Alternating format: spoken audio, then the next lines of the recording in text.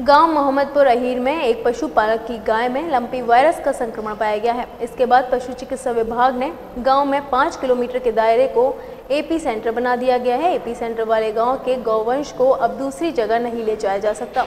साथ ही यहाँ के जानवरों को पशु हाट व खरीद बिक्री पर पूरी तरह से रोक है। इसके साथ ही 500 मीटर के दायरे में पड़ने वाले सभी गाँव में पशुओं को टीकाकरण, पशु चिकित्सा विभाग करा रहा है ताकि गाँव से संक्रमण किसी दूसरे स्थान पर नहीं पहुँच सके। शिकोहवा तहसील के गाँव में लंपी वायरस ने दस्तक दे दी है, जिससे पशुपालकों में हड़कंप मच गया है। हालाँकि पशु चिकित्सा विभाग गाँव गाँव जाकर जानवरों को वैक्सीनेशन कर रहा है, जिससे लंपी वायरस के संक्रमण को काबू में लाया जा सके।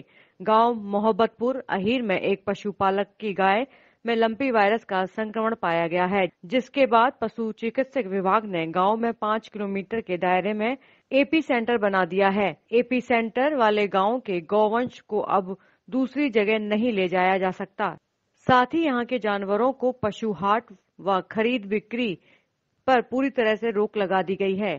साथ ही 500 मीटर के दायरे में पड़ने वाले सभी गाँवों में पशुओं को टीकाकरण कर पशु चिकित्सा विभाग की ओर से किया जा रहा है ताकि गाँव से यह संक्रमण किसी दूसरे स्थान पर ना पहुँच सके। इसी तरह से इसमें भी सात आठ दिन ठीक होने में लग जाते हैं। दो तीन दिन बाद तो पता ही चलता है, दो तीन दिन इंक्यूबेशन पीरियड में रहता है वायरस उसके बाद जो है, उसको उसको बुखार बढ़ता है, तेज बुखार होता है। तेज बुखार के साथ साथ पशु खाना छोड़ देता है। कुछ घुटनों पर सूजन आ जाती है, कहीं बाँट में सूजन आ जाती है, पूरे शरीर पर नोडुल्स बन जाते हैं छोटे छोटे दाने बन जाते हैं। उनका अगर समय पर ट्रीटमेंट ना किया जाए तो वो दाने जो हैं वो फूट जाते हैं। फूटने के बाद उनमें सेकेंडरी इन्फेक्शन हो जाता है। बैक्टीरिया का मवाद वगैरह पड़ जाती है। इसीलिए उसका इलाज करता है। वायरस का कोई इलाज नहीं है। केवल इसका इलाज वैक्सीन है। वैक्सीनेशन है। पशु चिकित्सक ने बताया कि इस बीमारी से पशु पालकों को घबराने की बात नहीं है यह बीमारी दूसरे प्रांतों से आई है, जिसमें पशुओं को दो से तीन दिन बुखार आता है, साथ ही घुटनों में दर्द रहता है यही इसके प्रमुख लक्षण हैं। इसके साथ ही पशुओं के शरीर पर छोटी छोटी गांठें उभरने लगती हैं। यह इस बीमारी के प्रमुख लक्षण होते हैं